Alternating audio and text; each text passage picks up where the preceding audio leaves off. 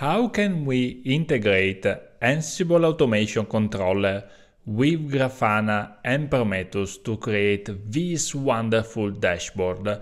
As you can see, this dashboard is displaying real time the job execution and the load of the server. Yeah, this is amazing and is taking advantage on all the full stack of data, visualization and ingestion of Grafana. This is the UI toolkit and underneath there is a Prometheus that is analyzing real-time the events every 5 seconds from our automation controller. This is more easy than you think, you just need to set up the, uh, the software and connect Ansible Automation Controller with Prometheus and Grafana. I'm gonna show you in this small video how to do it.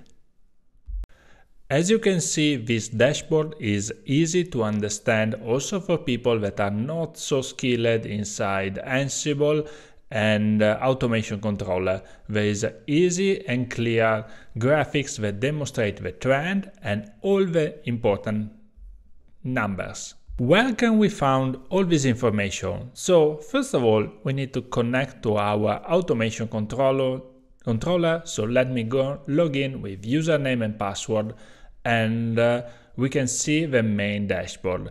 And as you can see, this dashboard is giving us most of this information, but not all this one. Okay, so how can I find this information and connect to Prometheus to retrieve all this data? You're already thinking to some complicated database query, no? It's easier than you think. There is an API endpoint, so basically automation uh, controller as this slash API slash v2 uh, RESTful uh, API that we can navigate and in this endpoint metrics is pointing out all the important parameter for our system. Well, don't worry, this metrics is protected by the password, so only the user that actually are able to log into our system are able to see these numbers. As you can see, these numbers are the same that were displayed in the UI. So what we need to do is just connect our Prometheus to read this API endpoint uh, at a certain amount of time and we are done. So Back to the magic. We just need a freshly installed Prometheus uh, server. This is super easy, just need a Linux machine with Grafana. And we have information to all these data point. Isn't amazing? So this is great. We just need to connect together the dots. So welcome to my terminal. I'm going to connect to my Prometheus server that is already the server that uh, hosts also Grafana. So let me connect via SSH. DevOps is my username at prometheus.example.com. So uh, let me hit enter and sudo su to switch to root user. As I mentioned before, this is a Linux machine with Prometheus already running with a basic configuration. What I'm going to do is just customizing for accessing Prometheus to the uh, Ansible controller API endpoint. So let me edit the slash etc slash prometheus slash prometheus.conf. This is a pretty straightforward configuration that uh, is going to deliver the data to grafana.example.com. This is my hostname. And uh, okay, so as you can see, everything is pretty straightforward. I'm going to ingest this parameter via the job name tower and let me specify the metrics path that is uh, in my case slash api slash v2 slash metrics. This was the same API that we saw in our browser before. Okay, cool. We just need to uh, uh, set it up the bearer token for authentication or a basic authentication with username and password. As you can see, I already set it up also the target, that in my case is AC Example.com automation controller. And where can we find this bearer token? Well, also this is super easy.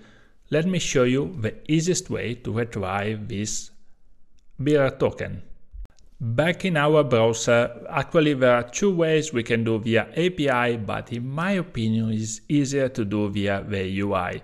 So let me connect again, let's switch to our user profile and the last tab is actually tokens. We create a new one with a scope to read and let's copy to the clipboard. Okay, cool. So now we created a new token associated to our user with read capabilities. And uh, what are we going to do it? Just uh, let's return to the terminal and paste it in the bearer token. This is a of 2 token that is going to guarantee the access to the API. So let me save the Prometheus uh, configuration file and let me restart the Prometheus server just to make sure that uh, the new configuration is actually applied. This is super easy. This is a, a Red Hat Enterprise Linux machine, so I just need to do the service restart of Prometheus. So like usual, let me use a service Prometheus restart or uh, as you do nowadays, system control restart Prometheus. Uh, let me verify that I need, if I need to restart also the Grafana, but I'm not sure, probably will restart by itself. No, actually there is no unit. So let me restart Prometheus systemd system control restart prometheus.service. Cool. It looks like everything is ready to go. Let me verify that uh, the status of Prometheus service is running and it is. Cool, now let me connect via the browser and showcase if everything is working. Cool, I connected to Grafana via the browser with, have a standard API with a normal user and I got this initial dashboard.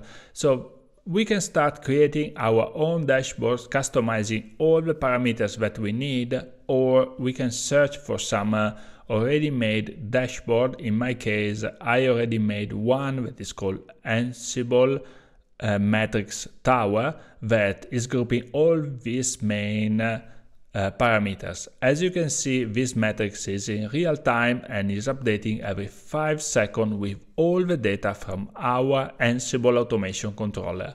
Cool, now the sky's the limit. Let's automate more. Yay! I'm so happy. Yay! We made it!